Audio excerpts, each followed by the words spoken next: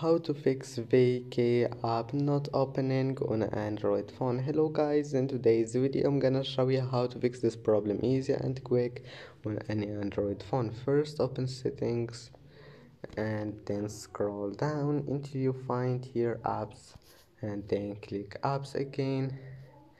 And here we'll find VK click on it and then click storage and now clear cache and then force stop. And uh, now uh, go to storage and click manage storage. And that will fix your problem but you will uh, you will use uh, you will lose your data. So uh, so don't do it if you don't want to lose your data. This one clear all. And that's it your problem must be fixed. Don't forget like and subscribe restart your phone and try again and see you in the next video